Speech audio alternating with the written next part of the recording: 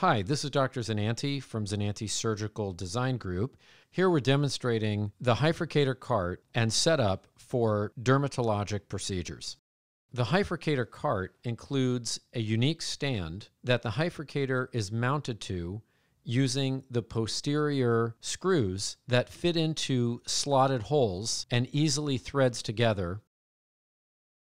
The reusable handpiece for the Hyfrecator is plugged in into two positions as shown here. An optional patient pad can be used with the Hyfrecator to avoid electricity transfer or shock to the bridge of the nose or brow when using the colposcope. The system is used with a solid return pad instead of a split pad that is commonly used with a higher power electrosurgical unit.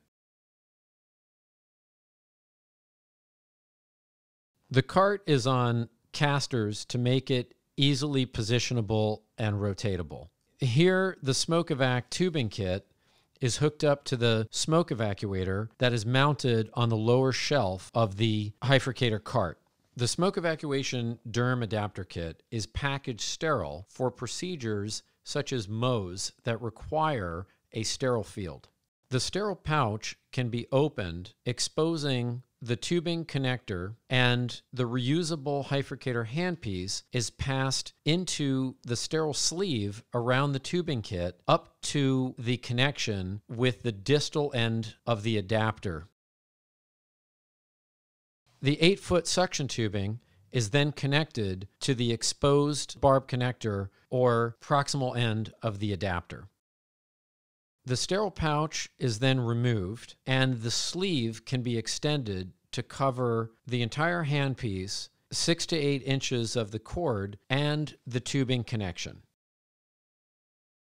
Both sharp and blunt derm tips are available in sterile or non sterile versions. Here, the sterile versions are peeled directly onto the sterile field and simply placed into the distal portion of the handpiece through the sterile tubing adapter.